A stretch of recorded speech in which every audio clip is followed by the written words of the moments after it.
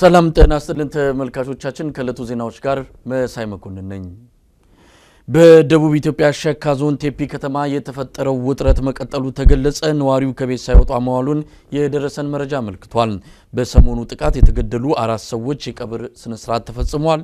አሁንም ስጋት ውስጥ እንዳሉ ነዋሪዎች ለኢሳት ገልጸዋል። ይህን በተመለከተ ኢየሩሳሌም ተክለ ጻድቅ ወደ አካባቢው ስልክ ደውላለች። ከእሷ ጋር አጭር ቆይታ አደርጋለሁ። ኢየሩሳሌም በጣም አመሰግናለሁ።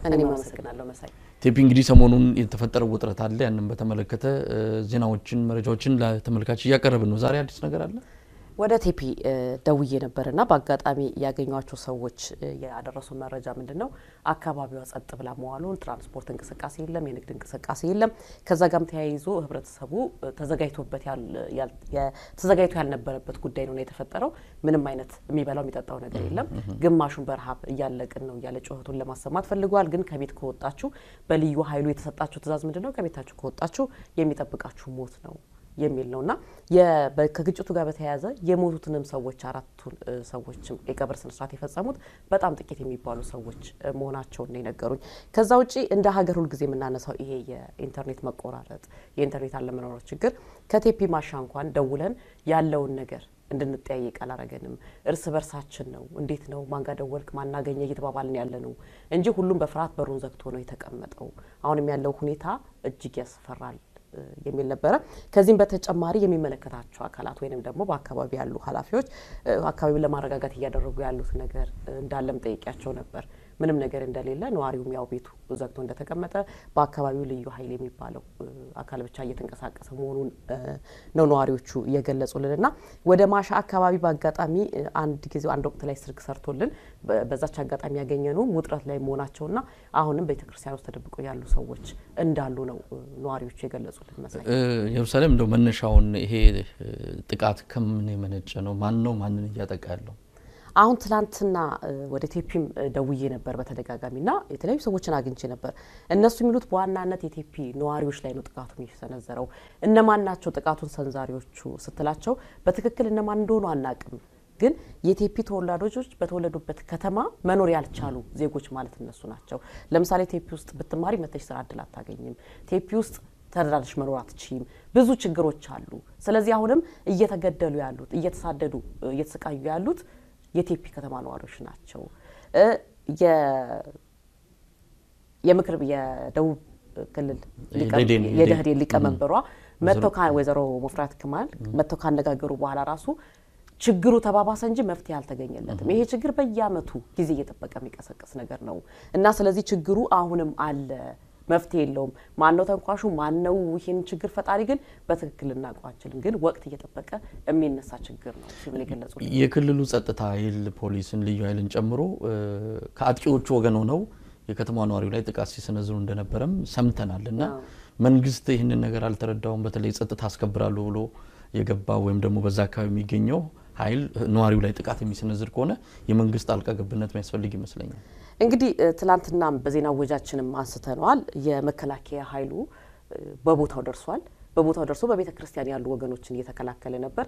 እንዲያውም ነዋሪዎቹ እንደሚገልጹት ከሆነ የልዩ ኃይል የሚባለው የፌዴራሉን ወይም ደግሞ የመከላከያውን ሙሉ ልብስ ለብሰው የፌዴራል ኃይሉ ዩኒፎርሙን ለብሰው እነሱ ናቸው ጥቃቱን ያደረሱት እነሱ ጨካኞች ናቸው እንዲባሉ እንደዛ ሁሉ እንደሚያደርግ እንደነበር ነው የገለጹልን። የትኛው ኃላፊ መጥቶ ለእናንተ ክልከላ ያደረገ ወይም ድጋፍ ያደረገላችሁ እንደዚ አይነት አካል የለም። የመከላከያ ኃይሉ ብቻ ነው በስፍራው ደርሶ ህብረተሰቡ ሊታደግ የሞከረው። ያም ቢሆን እኛ ከመሞት አልዳንም። እየተገደልነው እኛ ነን። መከላከያ ኃይሉም እዛ አለ። መከላከያ ኃይሉ የተወሰነውን የህብረተሰብ ክፍል አዳነ፣ ሌሎቹ ግን ከመገደል ወደ ኋላ አላሉ። አሁን በቤተ ክርስቲያን ተጠልሎ ነው የሚገኙት። አዎ የተጠለሉም አሉ። አብዛኛው ህዝብ ግን በቤቱ በሩን ዘግቶ የተቀመጠው ያለ መሳይ። ኢየሩሳሌም በጣም አመሰግናለሁ። እኔም አመሰግናለሁ መሳይ። ተመልካቾቻችን ወደ ቀሪዎቹ ዜናዎች እናልፋለን። ለሱዳን ተላልፈው የተሰጡ የኢትዮጵያ መሬቶች በአቶ አባይ ጻዬ ፊርማ የተፈጸሙ መሆናቸው ተጋለጠ። ይህንን የሚያሳየውና የአቶ አባይ ጻዬ ስምምነት የተገለጸበት ሰነድ ኢሳት እጅ ገብቷል። ስምምነቱን የተፈራረሙት አቶ ደመቀ መኮንን እንደሆኑ ተደርጎ ለዓመታት ሲገለጽ የነበረው ሆን ተብሎ የተደረገ እንደሆነም የኢትዮጵያ ድንበር ጉዳይ ኮሚቴ አስታውቋል። አቶ አባይ ጸሐዬ የፌዴራል ጉዳዮች ሚኒስትር በነበሩበት ጊዜ የተፈራረሙት ሰነድ ላይ መሬቶቹ በአስቸኳይ ለሱዳን ተላልፈው እንዲሰጡ የሚል ትዕዛዝ እንዳለበትም መረዳት ተችሏል። ዝርዝሩን ብሩክ ይባስ ያቀርበዋል። በኢትዮጵያ ድንበር ጉዳዮች ኮሚቴ የተገኘው ሰነድ እንደሚያመለክተው በአቶ ደመቀ መኮንን ፊርማ የተፈጸመ ነው የተባለው ስምምነት ትክክለኛ እንዳልሆነ ተረጋግጧል። ሰነዱን የፈረሙት የህወሓት አመራርና በወቅቱ የፌዴራል ጉዳዮች ሚኒስትር የነበሩት አቶ አባይ ጸሐዬ መሆናቸውን ለማወቅ ተችሏል። ስምንት አንቀጾች ባሉት ሰነድ ላይ እንደተመለከተው በኢትዮጵያ ይዞታ ስር የሚገኙ ሶስት የእርሻ መሬቶች በአስቸኳይ ለሱዳን እንዲሰጡ አቶ አባይ ጸሐዬ በፊርማቸው ተስማምተዋል። 1600 ኪሎ ሜትር የሚረዝመውን የሁለቱ ሀገራት ድንበር በተመለከተም የኢትዮጵያን ጥቅም ያላስጠበቀ ስምምነት በህወሓት አገዛዝ በኩል መደረጉን በመግለጽ ተቃውሞ ሲቀርብ እንደነበረ የሚታወስ ሲሆን አገዛዙ የሚቀርቡትን ተቃውሞዎች መሰረተ ቢስ በሚል ሲያጣጥል ቆይቷል። በሰነዱ ላይ እንደተመለከተው ግን ህወሓት ከኢትዮጵያ ህዝብ ደብቆ የተወሰኑ የኢትዮጵያ መሬቶችን ለሱዳን አሳልፎ መስጠቱን ነው ለማወቅ የተቻለው። የኢትዮጵያ መሬቶችን ለሱዳን ተላልፈው ከመስጠታቸው ጋር በተያያዘ ስማቸው ሲነሳ የነበሩት ምክትል ጠቅላይ ሚኒስትርና የብአዴን ሊቀመንበር አቶ ደመቀ መኮንን ናቸው። በሰነዱ ላይ ስምምነቱን የፈረሙት አቶ ደመቀ መኮንን አለመሆናቸው ተረጋግጧል። በህወሓቱ አቶ አባይ ጸሐዬ ፊርማ የኢትዮጵያ መሬት ለሱዳን የተላለፈበት ስምምነት የተፈጸመው እንደ አውሮፓውያን አቆጣጠር በሚያዝያ 11 2005 መሆኑ ተመልክቷል። በሱዳን በኩል ስምምነቱን የተፈራረሙት የሀገር ውስጥ ጉዳይ ሚኒስትሩ አብዱራሂም መሐመድ ሁሴን ናቸው። ይህ ስምምነት በይፋ ለኢትዮጵያ ህዝብ ያልተገለጸ ሲሆን የሱዳን ባለሥልጣናት ሰነዱን በመያዝ የይገባኛል ጥያቄያቸውን በኃይል ጭምር እያነሱ ለበርካታ የኢትዮጵያ ባለሀብቶችና አርሶ አደሮች ግድያና እንግልት ያበቁ ግጭቶችን መፍጠራቸው የሚታወስ ነው። አቶ አባይ ጸሐዬ በፊርማቸው ስላስረከቧቸው የኢትዮጵያ መሬቶች በተመለከተም የኢትዮጵያ ድንበር ኮሚቴ መግለጫ ማውጣት ጉዳዩ ትኩረት እንዲሰጠው ጠይቋል። በኢትዮጵያ በተለያዩ አካባቢዎች የተፈናቀሉ ኢትዮጵያውያን ቁጥር 2.8 ሚሊዮን መድረሱ ተገለጸ። ከስድስት ወራት በፊት ከነበረው ከ1.6 ሚሊዮን መጨመሩንም የመንግስታቱ ድርጅት የህፃናት መርጃ ተቋም ዩኒሴፍ አስታውቋል። መፈናቀሉ የተከሰተው በአብዛኛው በኦሮሚያ፣ ሶማሌና ደቡብ ክልሎች መሆኑንም ዩኒሴፍ ባወጣው መረጃ ተገልጿል። ከክረምቱ መጠናከር ጋር ተያይዞ በሚከሰት የጎርፍ አደጋ ተጨማሪ ተፈናቃዮች እንደሚኖሩ በመግለጽ ቁጥሩ ሊጨምር ይችላል ብሏል ዩኒሴፍ። የመንግስታቱ ድርጅት የህፃናት መርጃ ተቋም ዩኒሴፍ እንዳስታወቀው በስድስት ወራት ውስጥ ብቻ 1.6 ሚሊዮን ኢትዮጵያውያን የመፈናቀል ሰለባ ሆነዋል። ከጥር ወር በፊት 1.2 ሚሊዮን የነበረው የተፈናቃይ ቁጥር ከእጥፍ በላይ ጨምሮ 2.8 መድረሱን ዩኒሴፍ በሪፖርቱ አመልክቷል። መፈናቀሉ በስፋት ከተከሰተባቸው አካባቢዎች በዩኒሴፍ ሪፖርት የተጠቀሱት ሶስት ክልሎች ናቸው፣ ኦሮሞ፣ ሶማሌና ደቡብ ክልሎች።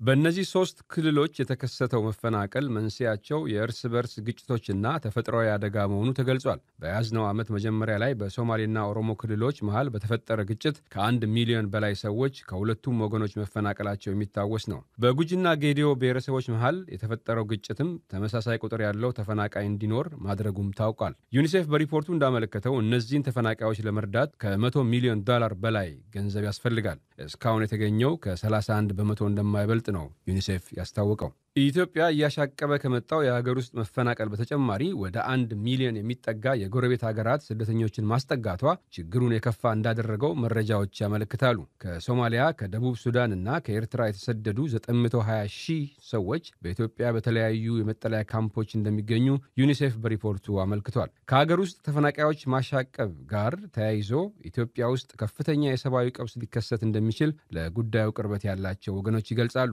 ተፈናቃዮቹን መልሶ ለማቋቋም በኢትዮጵያ አቅም የሚቻል ባለመሆኑ ዓለም አቀፍ ትብብር ተጠይቋል። ዩኒሴፍ በሪፖርቱ መጪውን ጊዜ ከስጋት ጋር እንደሚጠብቀው ገልጿል። በተለይም ከክረምት መጠናከር ጋር በተያያዘ 2.5 ሚሊዮን ሕዝብ በጎርፍ አደጋ እንደሚጠቃ የገለጸው ዩኒሴፍ አሁን ካለው ተፈናቃይ በእጥፍ የሚጨምር ቁጥር ይመዘገባል የሚል ስጋት እንዳለውም አስታውቋል። በዩኒሴፍ ሪፖርት የተጠቀሱት ተፈናቃዮች በሶስቱ ክልሎች የሚገኙ ሲሆን በሌሎች የኢትዮጵያ አካባቢዎች የተከሰቱት አነስተኛ ቁጥር ያላቸው ተመሳሳይ መፈናቀሎች እንዳልተጠቀሱ ታውቋል። በተለይ ከተለያዩ አካባቢዎች በሺዎች የሚቆጠሩ የአማራ ተወላጆች ተፈናቅለዋል። ከጅቡቲም በሰሞኑ ከ30 ሺህ በላይ ኢትዮጵያውያን ተፈናቅለው ወደ ኢትዮጵያ ገብተዋል።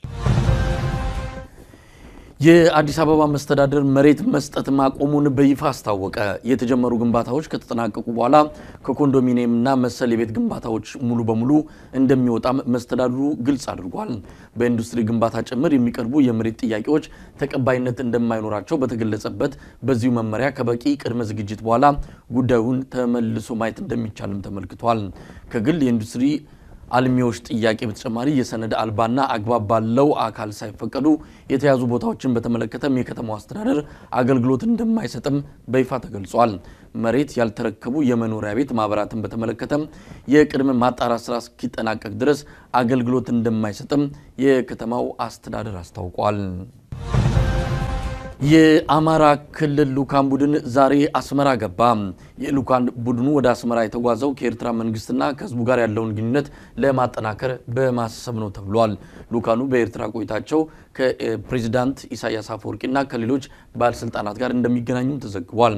በሁለቱ ሀገራት መካከል የተጀመረው ግንኙነት ለማጠናከር ስምምነቶችን ተግባራዊ ማድረግ በሚቻልበት ሁኔታ ላይም የኤርትራ ልኡካንን በሳምንቱ መጨረሻ አዲስ አበባ መግባታቸው ይታወቃል።